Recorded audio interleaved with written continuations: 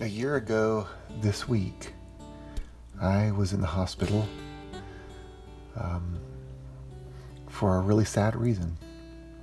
I thought that I was at the end of my life by my own choice. Uh, I was going through something that was really difficult. It was really embarrassing, and I was ready to give up. Friends of mine made sure that I got help. They took me um,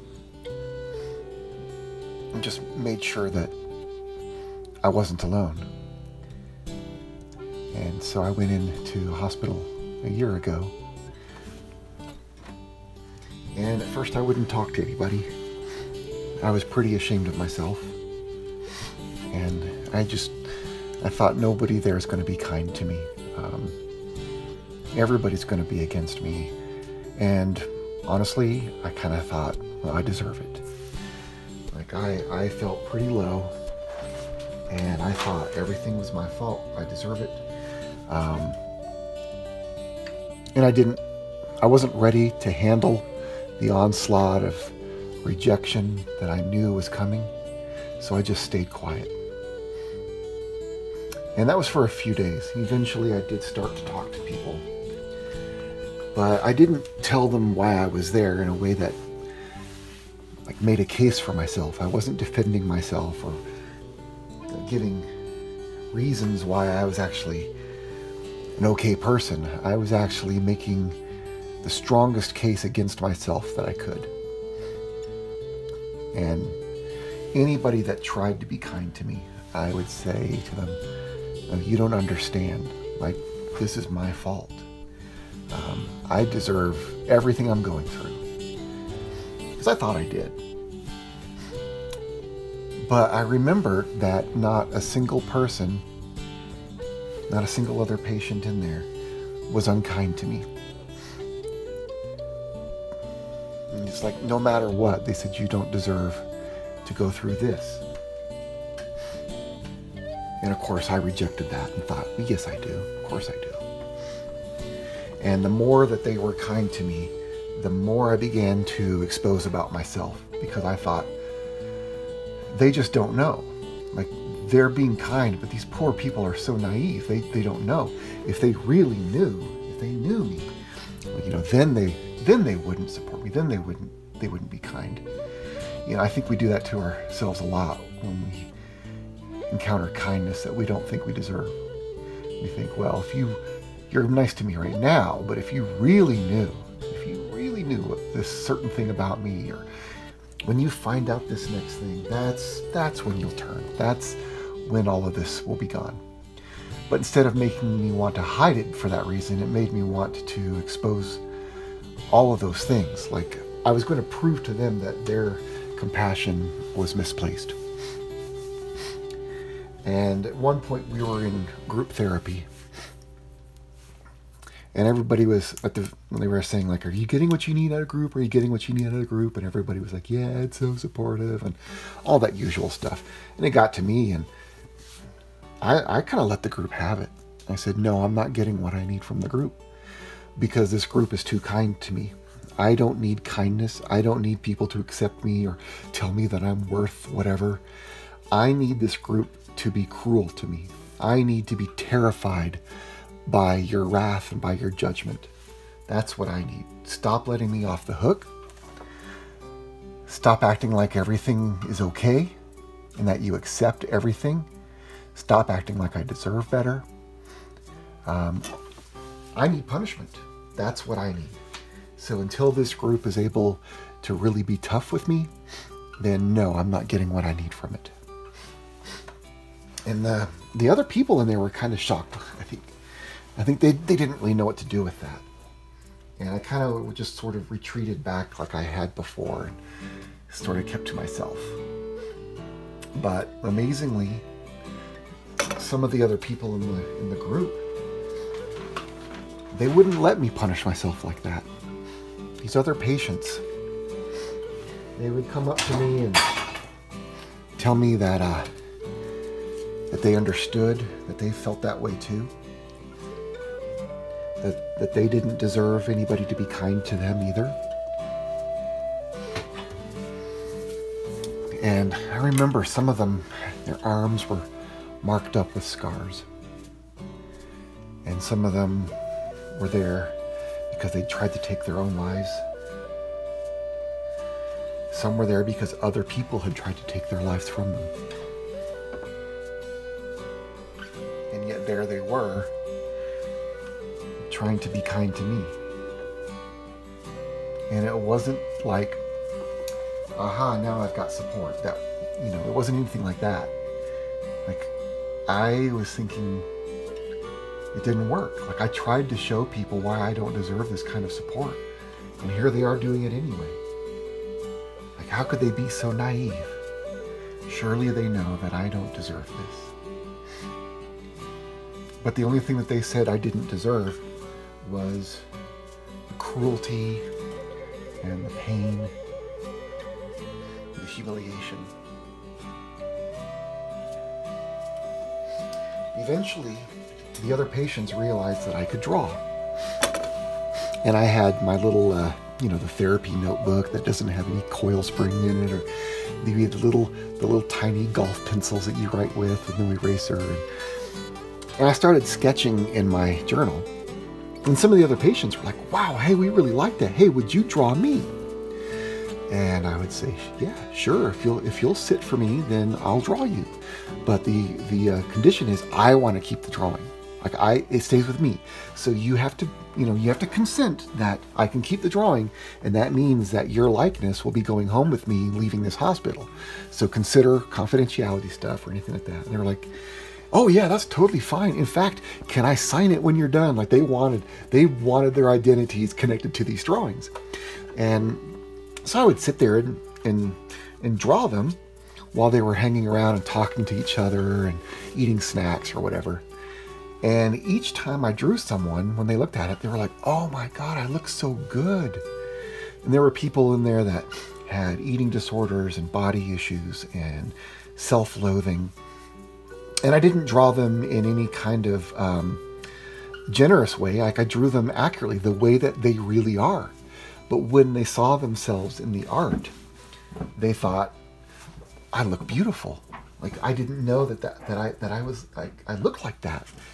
And I think that it was different from a photograph because the drawing was a product of somebody paying attention, somebody seeing them, not capturing them with a click, but someone studying the, the shapes of their faces and the arc of their nose and the way that their hair falls around their ears, things like that. And the drawings themselves are not actually fantastic. And like I said, I, I, I, didn't dress anybody up more attractively in the drawings than they were in real life. Um, so I don't think that it was the technical portrayal that they were complimenting. I think that when they said that it made them feel beautiful, what they were remarking on is that they felt seen, that somebody had noticed them, that somebody had focused on them and looked at them, not with a gratuitous gaze on them, not wanting something back from them, not staring at them as an object, but looking at them with the purpose of wanting to create something about them or from them. And to some of them, that was a new experience, that, that they could be represented in an act of creation and not in an act of degradation. And I still have that journal, and it has all those drawings in it of each, each person. And um, I realized later that that was a good symbol for what I needed. I didn't need punishment. I didn't need humiliation. What I needed was to be seen, not to be the center of attention. Nothing like that. Like I actually didn't want to be. But to have my humanity witnessed, like at a time in my life where I was being told both by myself and by others that I was worthless, and ugly, and stupid, and useless. All these things that were. I was shouting at them in my own head and, and hearing them in the voices of other people and having dreams where these things were being said to me. And I think what I needed was to be seen as a human being that was different from that as somebody that was actually worth something, worthy of something. And it wasn't something that I had to earn. I could tell anyone anything about my story, any bad thing about my life. And um, I didn't have to like earn my humanity, being treated like a human being who, who just deserves life. It doesn't mean I deserve anything special. It doesn't mean I deserve um, lack of accountability or anything like that, but just my humanness. I needed to have that seen because I wasn't even seeing it in myself. And in the process of drawing others, I was able to connect with those people in a way that they also could see me back as well. So that was just something I experienced, and that was a year ago this week. Um, I spent eight days in. I also learned a lot about going dealing with trauma, uh, dealing with uh, PTSD, post-traumatic stress disorder, um, which I still have. I, I I have an actual clinical diagnosis. This is not, you know, a self-described condition. I have a I have an actual clinical diagnosis of PTSD. And so I've, I've been learning this whole year um, how to deal with that, how to deal with nightmares and bad dreams and startling sounds. Um, and right now, dealing with anniversary issues, um, being a year later. Um, I'm also dealing with the loss of a lot of friends there's a lot of people who have not understood the situation that I've been in. And they've, they've even misunderstood through having some incorrect information. And I've had to very sadly see people of whom I'm incredibly fond make the choice to disembark from friendships and relationships with me. And one of the things that I've learned is that me fighting back, like me retaliating and me like laying out a case for myself or anything like that is not healing.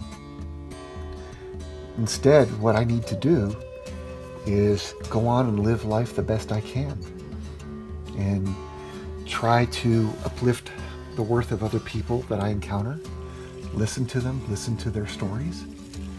Um, like I did in the hospital. Um, try to see them, see them just beyond their image, but as as people. And so that's what I'm that's what I'm trying to do. Those are the things in my life that I'm, I'm trying to do. And uh, one last thought before I'm done here there's an artist that he said something to me. This isn't his own idea. This is something that a lot of artists have said before. But this artist said to me, in some sense, every painting or every work of art is a self-portrait. Which is very interesting because that means like here I am painting this bear in the mountains. Like how in the world is this a self-portrait? Well, what that means is you put something of yourself into everything that you're doing. Even the choice, like why did I choose to paint this? What does that mean? um, how is this saying something about myself? So after telling you that whole story, this is what I've come to realize. Like just now, like while I'm painting, I've just realized this. Is a year ago, I was in the hospital, scared and humiliated, in the dark, um, not sure how much life I had left in me, really. And what I'm seeing here is these this gray overcast sky.